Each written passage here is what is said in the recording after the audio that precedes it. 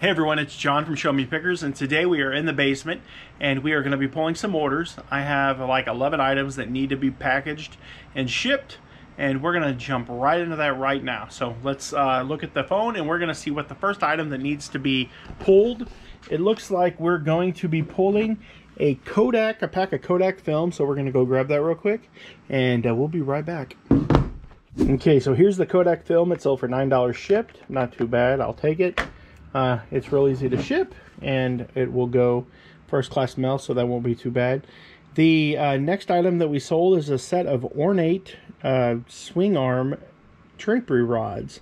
And they look like they're the twisted white ones that'll be right over here. So we'll just walk over here and grab them real quick. I still have quite a few pairs of these listed. Um, here they are right here. Ooh. Making a mess. These are them, and uh, they are not heavy at all. They're really super light. Very decorative, though. Um, I did get a neutral feedback because a guy said that he did not know that the swing arms did not come with the mounting hardware. Well, I didn't put in the listing that, that it did come with that. So, oh well. This is $14.95 and $7.54 shipped, so that's not too bad. These have more than been paid for right now I'm just purely moving around on profit with these. A person bought uh, two of these Sharp toner cartridges, so we're going to go grab them and pull them from the shelf real quick, and I will be right back. Okay, folks, I've been running laps trying to find them, and they are right here. I bought them for, I believe they were like two bucks a piece so that wasn't too bad. I paid $2 a piece for them. Sounds like Megan's here. Um, I got them for two bucks a piece. Not too bad. Um, we sold them for right at $38.95 shipped. So that's pretty good. Pretty good deal. They'll be they're pretty light, so that won't be too bad. How you doing there, Francis? Uh, we have a vintage Honda key here to pull and that'll be right up here. That is the last Honda key that we actually have.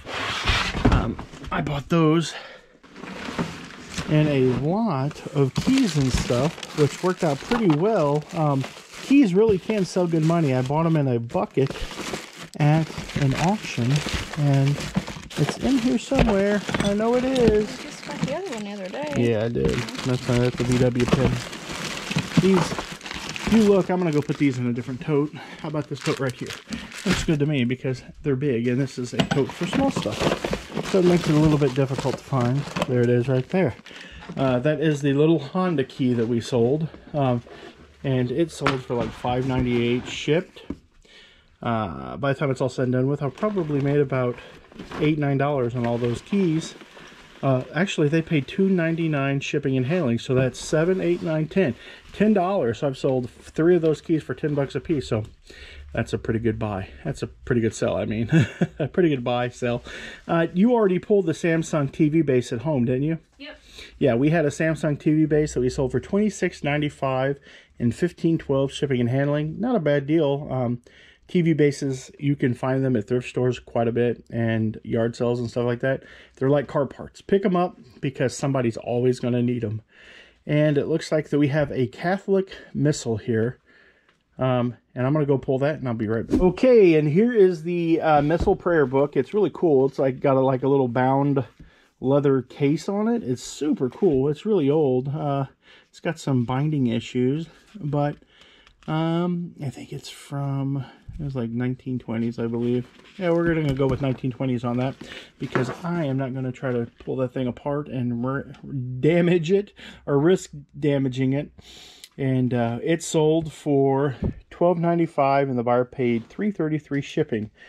The next item that we have, though, is a set of 15 pickle forks. That's so weird because you just said yesterday that you were going to keep, uh, you wanted to keep a set of pickle forks for pickles. I wouldn't be bad to have. Yeah, they wouldn't be bad to have. And uh, the universe said, "No, Megan, you don't get to keep pickle well, forks." need fifteen of them anyway. I know, but that's not a, that's that's more than one, or that's one. That's not fifteen. So we're gonna find them, and we'll be right back. Here we go. Here is the lot of pickle forks. Um, a couple of them came out of my little zip tie thing there. Um, they sell pretty good. Um, we sold them for $9.95 plus 540 shipping and handling. Not getting rich, but we can buy a jar of pickles with that. Okay, Francis, so we have a set of weights that we got to get, but those are upstairs. We sold a set of the eight pound neoprene weights for 35.05. Um, and then we sold a motorsport Indian Yamaha Honda Hot Shop Big St. Charles Yeah. shirt. Do you know where that's at? Because Yeah. it's clothing. Yeah. Okay, we'll grab that and we'll be right back. Okie dokie, here is a the shirt, the shirt that I was talking about. It's pretty cool. Um, I don't remember what it's sold for, but it's got all of the different uh, types of motorcycle: Sea-Doo, Can-Am, Spyder, Suzuki, all kinds of different ones. Uh, it sold for seventeen ninety five and free shipping. And I think the last item that we have to pull is a GMC uh, Silverado brake control cable. That's 1185. So let's find that. We'll find that. Megan, she'll find that because that's what she does. She's the finder of car parts.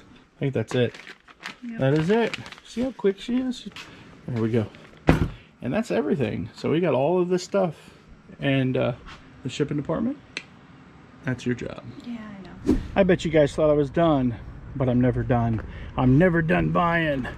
I came to Walmart and I decided to do some checking in the clearance aisle and I found retail arbitrage. I bought some more weights and I got a light for the outside of the store, for the backside, for the out back of my store.